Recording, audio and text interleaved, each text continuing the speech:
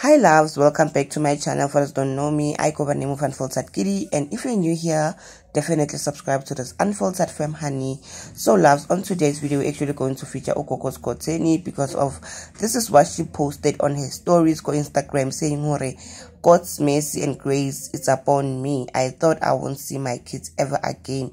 Lord, I thank you.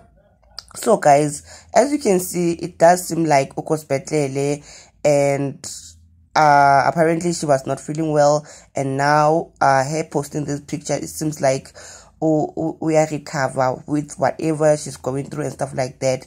But guys immediately when i saw this i felt see oh baby girl has been overworking herself in terms of making money guys. I understand we wanna like make money so that we can provide for our kids and stuff like that. But sometimes you need to take a break as a person. It's a lot for you to be djing doing podcast and obviously and dintho tse ngata tsa masangoma guys if you know you know hore ntho tse ngata di etswa bosiu.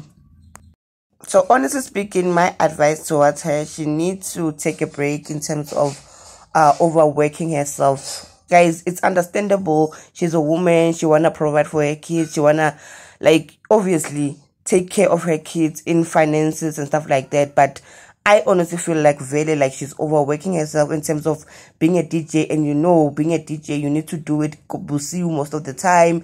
And na kiki the podcast ka ke busangoma ka mo batho ba batla o tshwasa. Ta matsoseng a ba ise di riveng a etseng guys? It's a lot. So I honestly feel like uh she needs to take care like good care of herself in terms of like her health so I'm not shook to hospital, guys. Obviously, this is so sad. Hore, Like she ended up being in hospital. But sometimes fatigue, guys, guys, like a whole to a point where you will end up losing yourself. Like, yes, you are trying to provide for your children, but at the end of the day, you will end up uh, not being here to be the provider because of where now you overwork yourself so that you can provide for them and they end up losing a mother. You you get me, guys. I don't know if I'm making any sense here, but like sometimes it's okay not to accept a job just because of you see who you have lot on your plate. Not to king.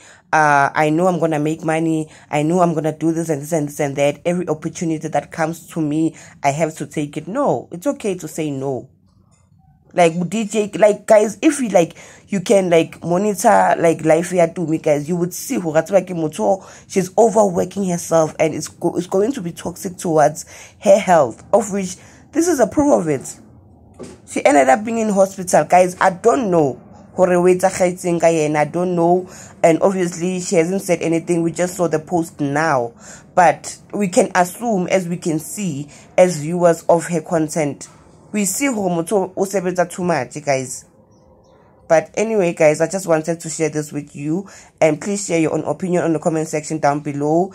And let's just continue praying for her so that she can heal with whatever she's going through guys. It's a lot guys. And we would hate to lose udumi guys because of she has been a great model towards other like uh subscribers or like getting the followers are higher. So clearly they still need her. Let's just pray for her.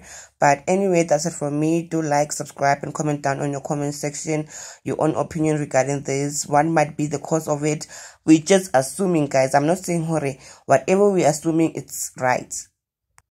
But anyway, that's it for me do subscribe if you're actually new here and comment down on the comment section your own opinion and subscribe Ooh, wouldn't get subscribe guys but please do subscribe and like this video. I love you guys. Bye